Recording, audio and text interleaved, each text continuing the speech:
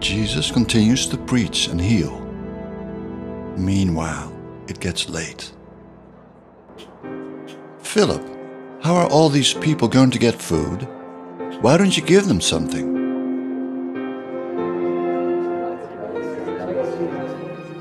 We only have 200 coins.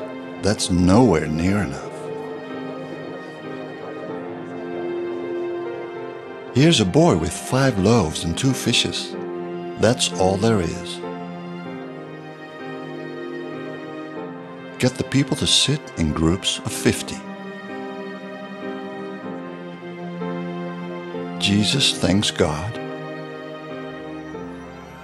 He breaks the bread and the fishes.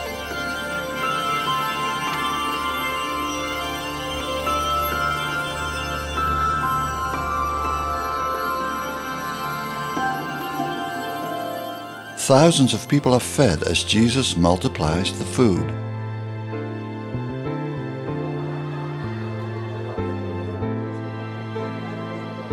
He is truly the Messiah that was promised to us. We've got to make him a king.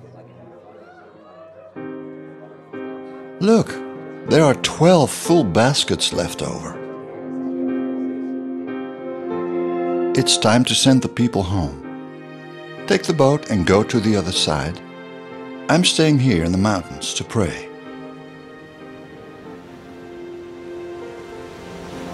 That night.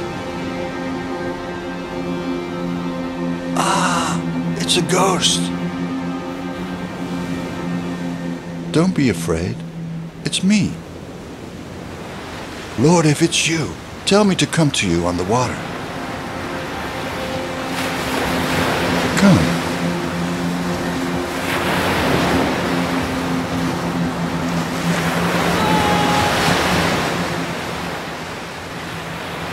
Lord, save me.